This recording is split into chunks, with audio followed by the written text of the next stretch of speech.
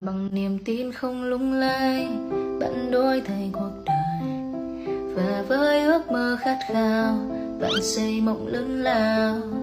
Nhìn lại từ điều nhỏ bé mỗi ngày miệt mài, đã thành một hành trình dài, bạn đang bước tiếp. Hành trình chữa lành vết thương cho bé mèo bị bỏ rơi dưới hầm chung cư. Cô gái này đã nhặt được một bé mèo dưới tầng hầm chung cư.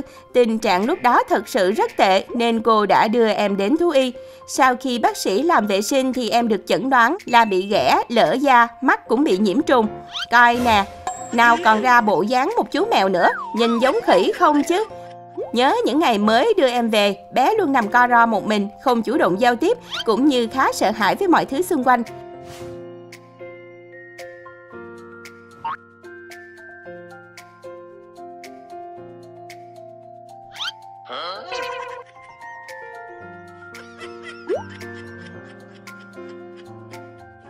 sau bao nỗ lực chăm sóc và chữa lành của cô gái tốt bụng này thì chú mèo đã dần mở lòng hơn.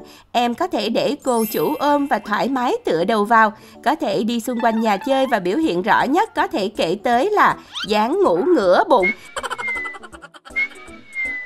Người ta nói chỉ khi nào mèo thật sự tin tưởng một môi trường hay người nào đó thì nó mới nằm như vậy. Lâu lâu cũng còn láo cá đùa với sen nữa. Cùng với việc cải thiện về tinh thần thì sức khỏe của bé cũng dần tốt lên, lông mọc trở lại, các loại bệnh biến mất, trả lại cho em dáng vẻ mà một chú mèo phải có. Không chỉ cô gái mà gia đình cô cũng rất yêu thương bé mèo nhặt này. Mẹ của cô còn mua quần áo cho nó, thậm chí còn khen đứa cháu nuôi này đẹp trai nữa. Thật may mắn khi bé mèo này có thể tìm được người thực sự yêu thương em, mãi hạnh phúc em nhé.